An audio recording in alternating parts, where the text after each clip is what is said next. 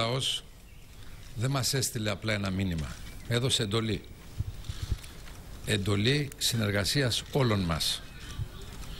Για να αλλάξουμε πολιτική, αλλά ταυτόχρονα να παραμείνουμε μέσα στο ευρώ. Εντολή συνεργασίας για μια βιώσιμη κυβέρνηση τουλάχιστον μέχρι τις ευρωεκλογές για δημιουργία δηλαδή μιας κυβέρνησης που θα είναι απολύτως βιώσιμη και σημειώστε πέρα και πάνω από πρόσωπα.